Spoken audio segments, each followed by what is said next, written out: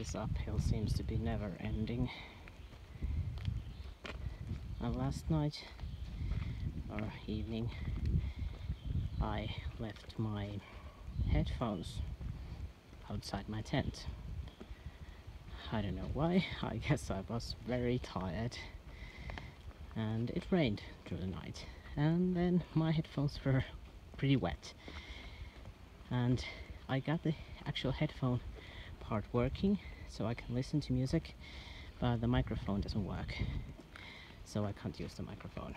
And yeah I will let them try for a while and see if it helps and if it doesn't then maybe my travel insurance will cover those.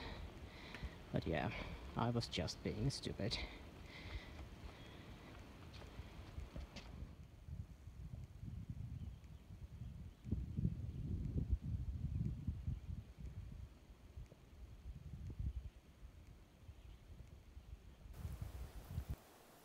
I've been having this cold oatmeal for breakfast now for a while and now I'm also having it for lunch and it seems to work pretty well for me.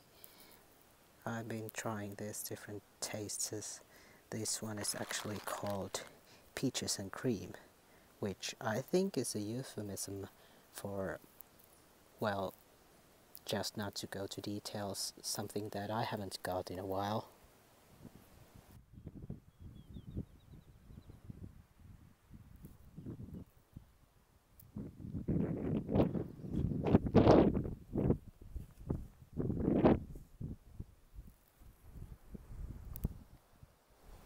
That tent is going to fly in a minute.